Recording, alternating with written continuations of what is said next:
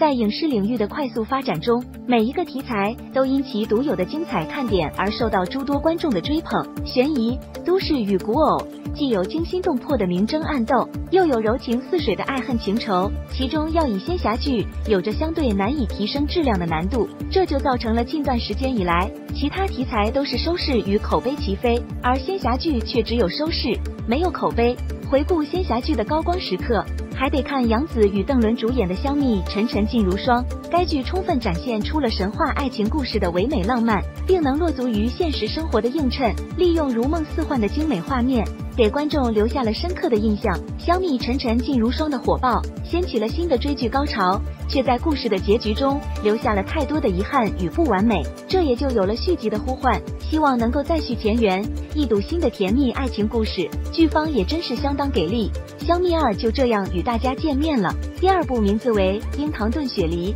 通过张新成、吴倩的精彩表演，再一次让大家陷入了爱情的酣甜画面之中。香蜜沉沉烬如霜与冰糖炖雪梨的火爆，也间接推动了香蜜三，也就是星落凝成糖的出现。由于前两季打下的优秀口碑，星落凝成糖也是未播先火，引起了大家更高的期待值。爆香蜜三杀青江袭，主演阵容高颜值，网友。还好不是杨紫和邓伦，星落凝成糖讲述了人族皇后离奇生下了双生姐妹，姐姐青葵生性温婉善良，受人族敬仰，被封为天妃；妹妹叶檀则聪慧狡黠，受尽欺凌，因此被许给魔界做魔妃。主演阵容的曝光。将陈星旭、李兰迪、陈牧驰和轩林推到了新一波议论的热度，都在讨论着顶着香蜜三头衔的星落凝成糖需要有着更加优秀的阵容，而这两位是有着值得肯定的地方，但相对于塑造经典的杨紫和邓伦来说，还是有着明显的短板。